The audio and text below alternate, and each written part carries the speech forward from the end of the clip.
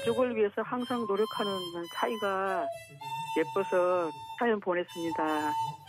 이번에 한 두 달 만에 온 것 같아요. 네, 애들 다 초과시키고 남편하고 둘이 사는데 좀 이 나이가 되면 서로 대면 대면 하잖아요. 네, 아이들이 오면은 기분이 얼마나 좋은지 음, 삶의 활력 활력이 되죠. 같이 마트 가서 장도 보고 딸 옷도 사주고 음, 맛있는 것도 해주고 그랬습니다.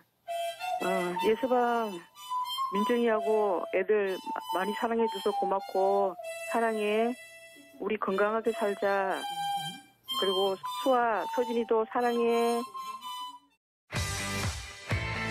하만군 안심 놀이터 물놀이장은 매년 7월 중순부터 어, 8월 중순까지 약 1개월 동안 운영되고 있습니다.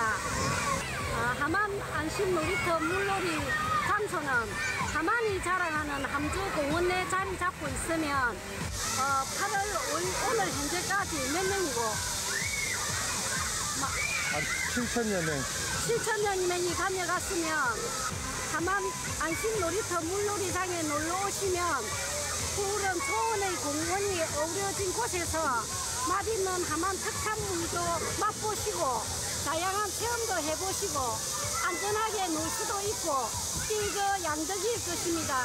무더운 여름 아름다운 공원 속으로 하만 물놀이장으로 놀러 오세요.